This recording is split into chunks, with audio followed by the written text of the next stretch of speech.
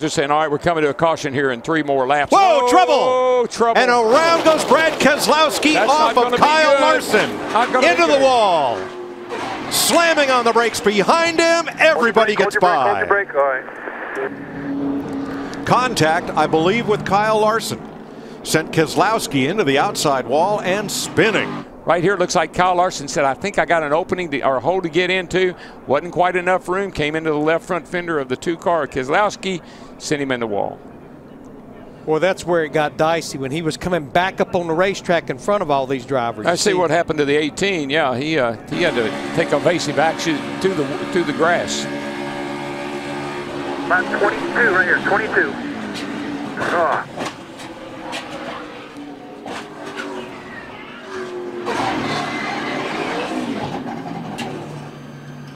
Also in Fords. Trying to work with him there. Oh, and McMurray goes around Whoa, in front of the huge. field. Huge wreck. Paul Menard is in it. Clint Bowyer is in it. Menard is hit by Kasey Kahne. His car's all torn up. And McMurray bounces off the wall, pulls away. There's Tony Stewart. His car stopped. There's Menard. At 200 miles an hour, when one car gets sideways in front of two thirds of the field, this is the result. Well, we'll see what started this one. Uh, we're coming off turn four here, all bottled up, bunched up. All it takes is just a little bit of a tap from somebody from behind. See right there, it looked like Greg Biffle may have gotten into the back of the one car. Not sure. Jamie McMurray, that's sent him around, and then it's on from there. He just starts taking out cars left and right. Biffle got into McMurray, but did Joey Logano give Biffle a shove into McMurray? There's our champ, Kevin Harvick. He got damaged. Danica come, look at her come through here. I don't think she ever makes any contact with anybody. No, she doesn't. She's clean. Kyle Busch almost missed it. He got it in the left front. And Menard got hit about four times.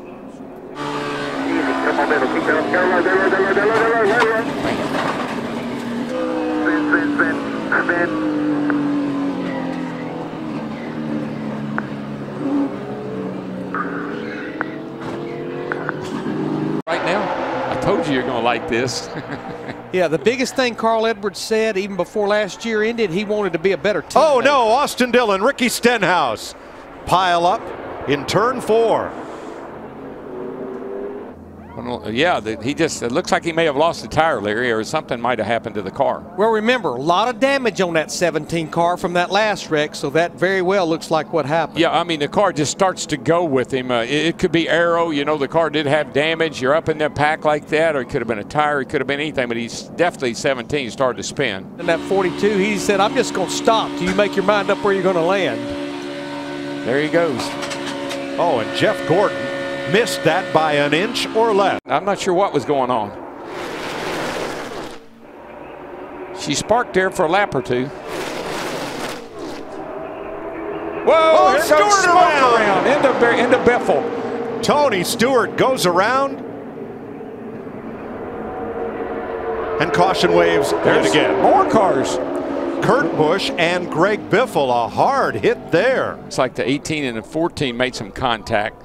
Looked like smoke kind of drifted up in front of Kyle Busch, and they made a little contact, and that turned the 14 right down the hill. Jeff Gordon, another near miss. And Kurt Busch all torn up, not sure he could even see the 16. Yeah, and where he Coming hit off that, the wall here. Pow! where the 16, I guess 16 or 4, I don't know which one hit at the end of the wall. I think the 16 did.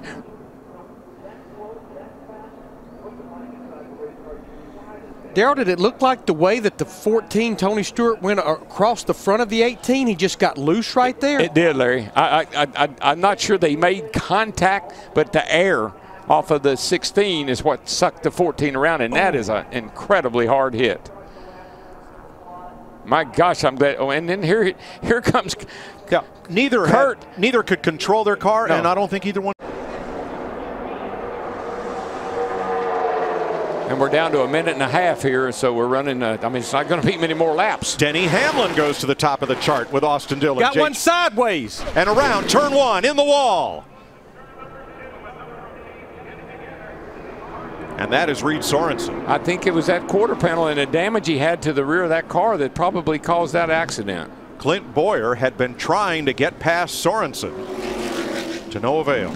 And this group had really started getting dicey. You could start to see it as they were coming off turn four down the front straightaway.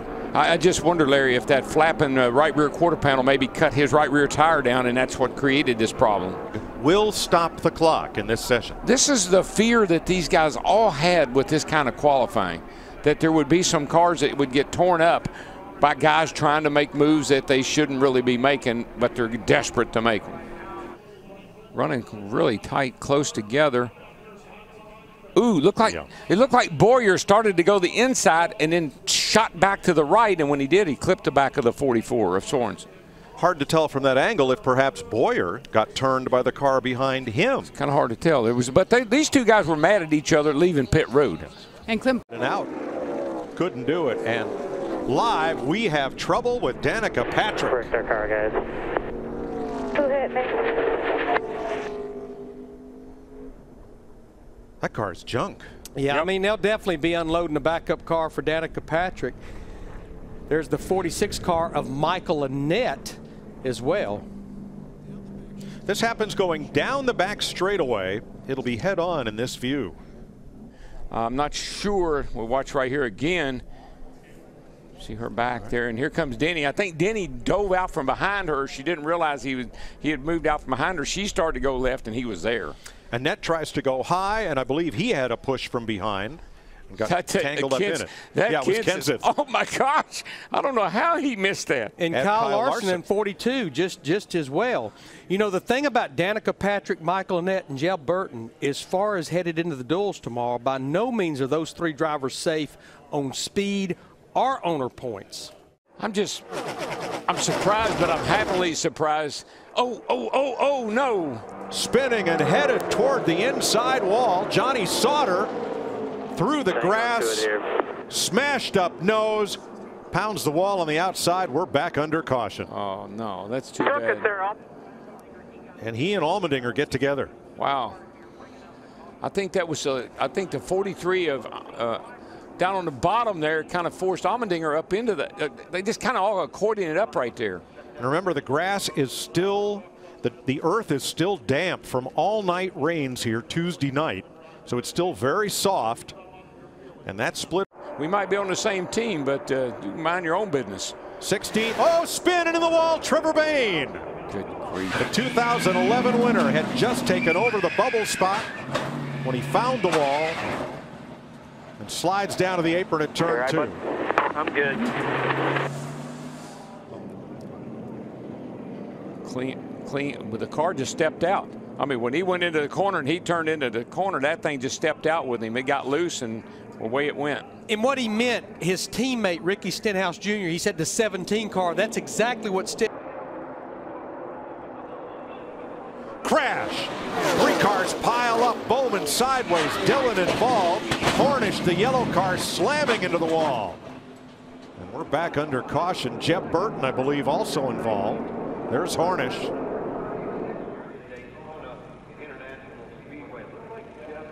Nope. Yeah, I don't. Uh, But it all started. Jeff Burton Yeah. and Sam Hornish got together, and he Bowman was just a victim. No. Yeah, well, he uh, mentioned something about the 11. I think he said I didn't need going on the outside of the 11. I, I think you want to take a look at all that. Uh, he was actually a victim in this whole thing. See Yeah. right there, Jeb Burton gets into the right rear of Sam Hornish in that nine. And then Jeb, it, it just causes Jeb's car to go to the right, and then it comes back hard left right into Sam, and that's what got Bowman. Yeah, Alex Bowman has nothing to apologize for. No, I don't think he made a mistake. He was talking about what got him back there in that position, battling for that final transfer spot. That double wide pack in front. Oh, treble turn three. Reckon, reckon, reckon, reckon, reckon, reckon. Go low. Brian Scott, Back it down. There you Danica go. Back it Patrick, down. Back it down. Get out of the way right and Bobby Labonte. Here comes Austin Dillon and David Ragan to shoot through. He was just far enough back. He didn't get involved. I tell you, David Ragan has, has had a charmed life. I know he wrecked his car early, Yep. but he's had a charmed life ever since. As long as you're going straight, yeah, but I'm just, All right, watch the 11. Hamlin. Just- Right on the back of, of Patrick. Yep. And Just a little, just in a, a little bump in the wrong place. Bobby Labonte, absolutely, just nowhere to go. Boy, Ryan Newman in the 31 just Yep. barely gets through there. But Daryl, if Hamlin slams on the brakes, Reed Sorenson in the 44 is going to run right over top of him. Well, he and Sauter are trying to pull that outside lane back toward the front, but they are still mired. Oh, oh got a spinner. Austin Hill, the 82. It looks like he got hit from behind. I'm behind. Just hang on here. And they keep Hang on. crashing Ben Kennedy. You're good down low. Joe Nemechek, the 8 Stay up high here. truck, also involved. Yeah, that's Austin on the outside of Cameron Hayley. Wow. Just- just oh, got- did it? Did the left it- rear tire come apart? Watch Chris Fontaine. Look at that job. He was able just to slip by. That's using your brain, being calm, just steering through a wreck. Great job, Chris. I think that left rear tire went on that on that 82 truck for Us- Austin Hill. Airborne, just slow it down. Just slow it down. About four or five of them down here. Just slow Look it down. at, look at the job. Nice and easy. Nice and easy. How about the job Timothy Peters did getting through there? How about Matt Crafton? He's down to second gear by the. Ooh. Wow. Crash! It's the big one. What a mess. There's a dozen trucks torn up in this one. Man, man. Look at John Wes Townley having such a good run running up in the top 10. There's Spencer Gallagher, Cameron Halen, Ca- uh, excuse me, Cameron Hayley in that 13 truck, Chris Fontaine in the 84. Timothy. Oh. Right on the back straightaway. You're Look at- right, look Mike. at the- what look at happened the to 11. Ben Kennedy? Well, Ben Kennedy looked like he had a tire down or something broken. it Michael and almost everybody stopped. piled in. James Buescher, the 31, also involved in this incident. Ray Black Jr., the 07, maybe not a whole lot of damage. Ryan Ellis, the 28, gets caught by Daniel Hemric. What happened? Kennedy was slow up top, but that didn't really seem to have anything to do with the, No, it the all beginning of that up crash. Right at the bottom, right around where James Buescher was. It's like an accordion effect. Once it looked like somebody get somebody slowed, and then they started running in each other. You don't think someone ran out of gas, do you? We were. We, it's possible. We within we- a lap or two, I think, of these guys coming down pit road. That's about the only thing that could have caused that. Let's uh, him, and it's just an accordion-like wreck as the trucks behind can't slow down in time. So many of these trucks with absolutely nowhere to go. Matt Tifft does a nice job going through the grass, and the 25 truck looks like he may have missed. I Got to keep an eye on the flagman as well. They're not. They're not going to make it. Oh, And- and- crash! And the red and black flag was out. None of them made it back. And on top of that, the big one right here in the tri-oval. Holy cow! Remember, Landon Cassill took off first. He's in it. Hard, hard contact. There's Daniel Suarez. Blake Koch, the eight car. Dale Jr. is able to drive through it. In the season opener, like I said, in three hours and 20 minutes. And here's Kyle Busch who says, there's 12 more. I really don't have to worry Well, about. that's tongue in cheek. I don't. I don't think he's cl- clapping for that. You see that Ca- Carlos, Carlos Contreras, that black car in the middle of the racetrack right there was slow. And see, look Kyle at- Larson's going to squeeze Blake Koch. I think it That's was actually Suarez. was trying to get through Yeah. the middle, and he just Wow. misjudged the the room he had to make that move and cause that crash. That was a that was a rookie who was trying to understand exactly how to go about qualifying here at Daytona under this format. Prior to today, the only place oh, where oh. oh, big trouble. That's the rookie Suarez up and over Regan Smith, the big one at Daytona in the tri-oval.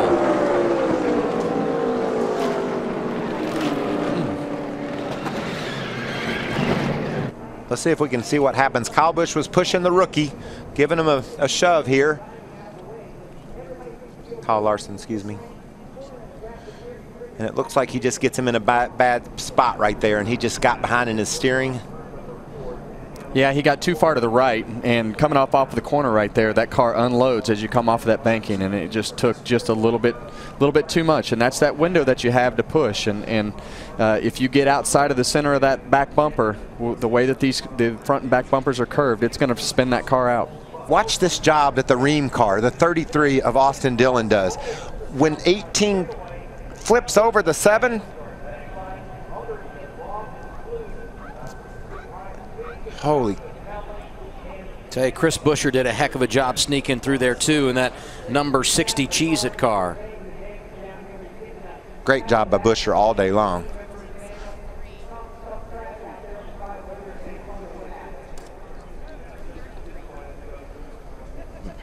Those are some those are some great pictures. We have the best cameramen and women in all of sports. I mean, the images they capture, they, they can't do this for 10 oh, laps. Erik Jones around. Back oh, across the field. The big one, part two at Daytona. Yeah, they can't oh. do this. Stay high. Nice straight. Did anybody hit you there, Kel? A horrific crash for Kyle Busch, who slid through the infield grass and went head on into the inside wall. And he is climbing from that car, and, and that is an unbelievable sight. Wow. I mean, he hit that wall head on. It looked like he never even slowed down. And you see Kyle here being tended to by medical officials. And he is uh, alert and obviously talking, and that's a great sign. Kyle is pushing Erik Jones, or behind Jones. Looks like there might have been some contact there.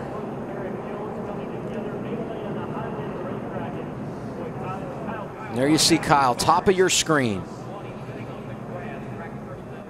Kyle bumps into Larson and it turns him to the left. Elliott Sadler hit there by Brendan Gaughan. And there's the 54. You saw the impact. And Kyle, he was trying to save it as long as yeah. he could. He, he he was just barely going sideways. He was trying to save it, and then he noticed, or he, it was obvious he couldn't get it saved. And, and they've stabilized or tried to that that right leg. And we'll continue to follow the story with Kyle Busch, injured in a crash here at Daytona. Now the race is over. Almirola is pushing hard on Larson. Larson sideways, into the oh, wall, man. there he goes. That's that same wall. Will they let him race back?